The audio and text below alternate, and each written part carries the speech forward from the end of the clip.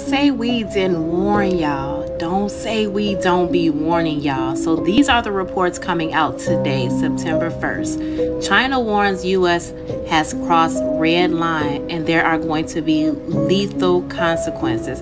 You guys can do your own research. You can look this up. But it says China has recently warned the US um, that it has crossed the red line and basically there's a storm of lethal consequences um, brewing. So, what I need you to do as an American is stock up, prepare yourself. The first thing you need to do is get a plan with your family in case we go to war or something like that. Talk to your family about a meeting place. Add extra food into your house. Every time you go to the grocery store, just grab a little bit extra. Check out you can check out my page. I got so much information on my page. You can check out the link in my bio. Check out my, um, just go through my posts. You'll see I'm always telling you what you should have in your house at all times.